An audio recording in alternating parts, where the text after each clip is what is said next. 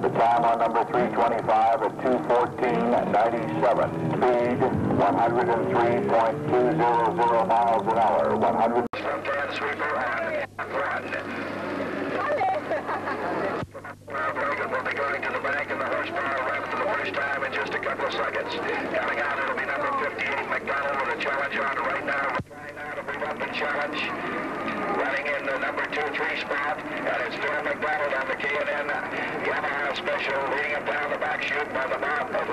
20 to 25, perhaps 30.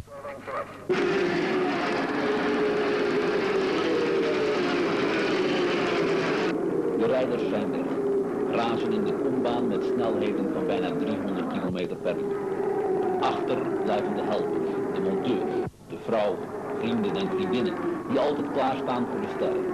Die slapeloze nachten en desnoods hun laatste spaargeld over hebben om hun idool in staat te stellen om zich in het tweeduurste tussen werkelijkheid en fantasie te meten met andere idolen. De baan, de machine en de pure snelheid. Een 200 mijls race zoals deze wordt voor een belangrijk deel door deze toegewijde helpers in de pits gewonnen of verloren. Juist van hun inzet tijdens de race hangt alles af. Tenzij de technische problemen direct al zo groot zijn dat je zelfs als Riemersma-team machteloos bent.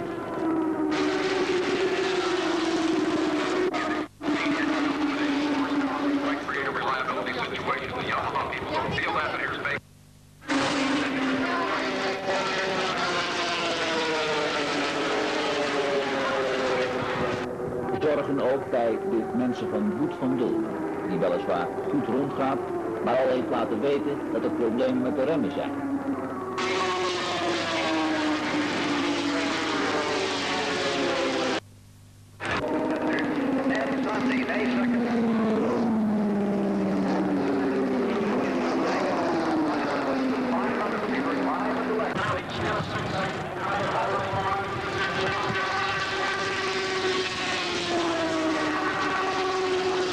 Terwijl Zijn teleurstelling moedig verbijt, heerst er alleen maar tevredenheid in Rob Brons PPM-team dat onder toeziend oog van Robbie's vrouw Irene draait als een met kerstkool geoliede machine.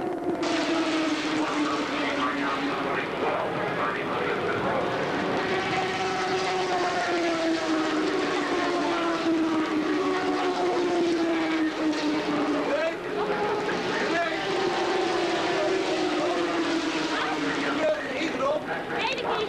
Ik heb niet geteld.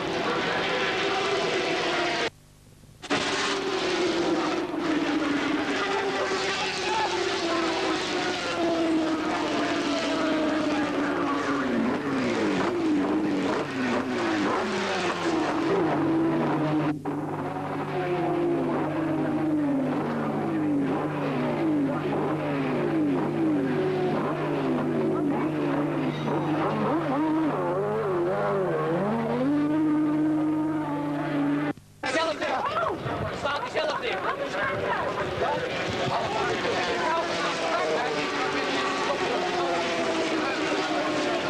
Hij had hem al zelf dicht gemaakt. Hij had hem al dicht.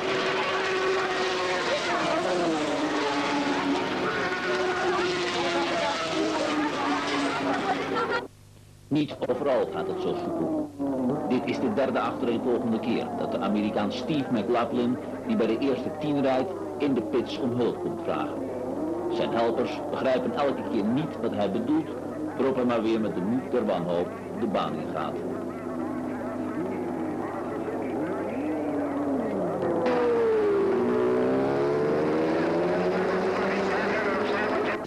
En hier problemen voor Marcel Anconé en Hideo Kanaya. Gerrit Veldschoten en Jan van der Zanden moeten voor Marcel uitlaatproblemen oplossen, terwijl Cal een compleet nieuw achterwiel voor de Japaner moet monteren, omdat de Goodyear achterband tot op het canvas is versleten.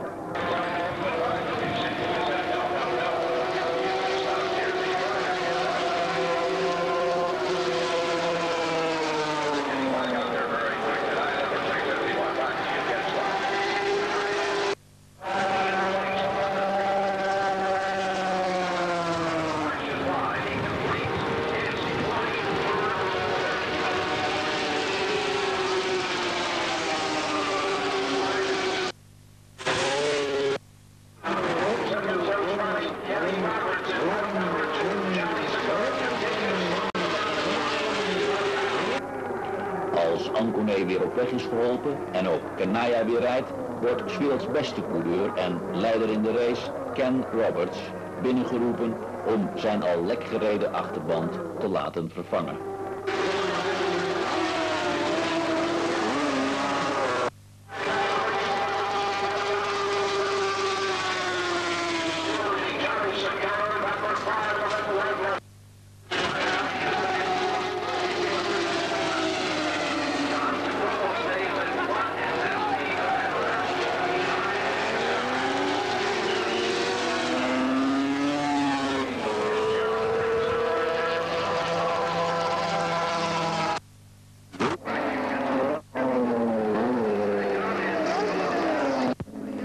Schrik in de pits. Eerst zien de helpers van Boet van Dulmen hun man recht doorschieten bij het uitkomen van de kombaan. Boet keert de machine en rijdt een stukje door het gras om weer op de baan te komen, maar bijna op hetzelfde moment crasht de Amerikaan Wes Cooley, die rondelang vocht met Rob.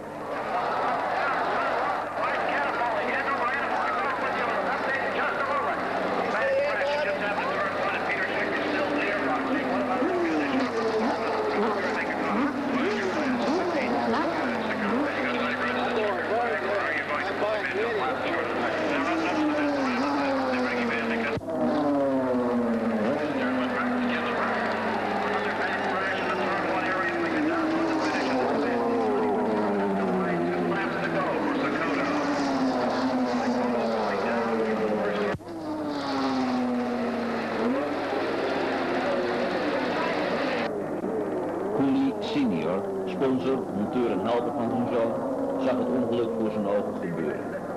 Wij stoppen met racen, zei hij. Begin mei waren hij en zijn zoon weer terug op de circuits. Junior in de baan, hij in de pits.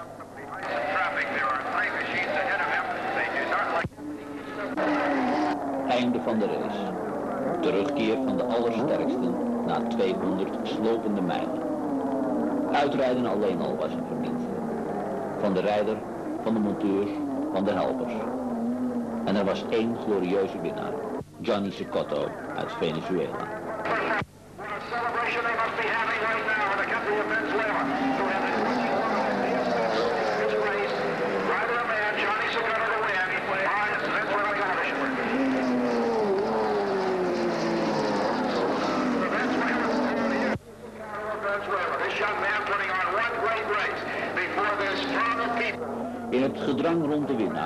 Raken zelfs de meest trouwe aanhangers hun eigen favorieten kwijt. Zo komt Alex George, die na een fantastische 14e plaats reed op de HMC Suzuki van Louis Bouwman, er na afloop een beetje verloren bij te staan tot Shane Dame en de kussen kon brengen die hij heeft verdiend. En dit is het bezweten, maar gelukkige gezicht van Rob Brol, die een twintigste plaats, een paar duizend gulden en de prijs voor de beste Nederlander verdiende. God straft onmiddellijk, maar masselt me ook wel eens, was zijn commentaar. Maar iedereen komt toch met verwijten. Wat is er nou weer? Ik kon je nergens vinden meer. Hij is vol hè? Hè? Niet? Plaats weten we niet, maar dat is niet altijd slecht hoor. Heeft hij vermogen houden? Ja, het vermogen was wel goed, maar eh, ja, ik had de giering niet moeten doen. We hebben toch wel eh, vrij sterke wind daar hoor. Toch wel? Ja, Boet van Bronnen op de Laponder Yamaha vlak achter Bron geëindigd, maar teleurgesteld doordat hij een zekere plaats bij de eerste tien verloren zou gaan door een defect voor hem, werd zonder twijfel de beste verliezer van de 1976 editie van deze Daytona 200. Zit hij achter je? Godverdomme, dat was de kans van mijn leven geweest. Hè? Ja. Ja, dat was de kans geweest. hè. 6 of 7 geworden. Zonder meer hoor. Zonder dat, eh, dat ze rotzooi aan de kant. Toen ik jou de eerste keer aan verre zat ik in jouw troependekker. Ja, dat hoorde ik niet.